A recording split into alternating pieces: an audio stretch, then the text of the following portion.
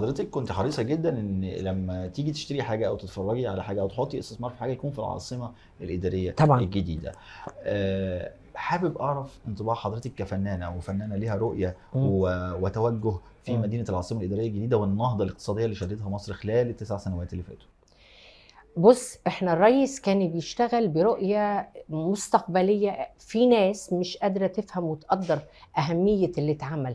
إحنا محتاجين نسحب الضغط بتاع القاهرة ونوجد عاصمة جديدة. فأوجدنا عاصمة على مستوى عالمي بكل التكنولوجي نقلناها آه، بشكل إنك تقدر يعني تخش مكتبك أو بيتك كأنك عايش في اليابان لأنه اليابان قد تكون هي أكتر حد بيهتم بالتكنولوجي في البيوت وفي المكاتب.